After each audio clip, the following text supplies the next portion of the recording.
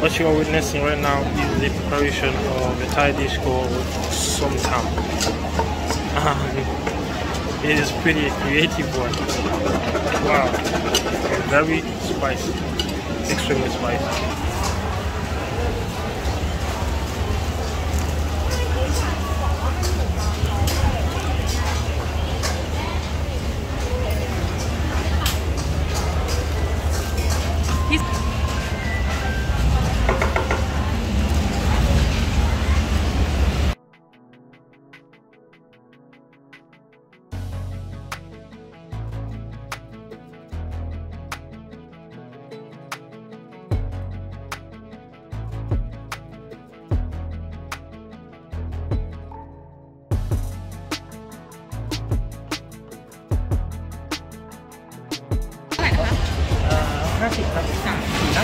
ขายทุกทีไหม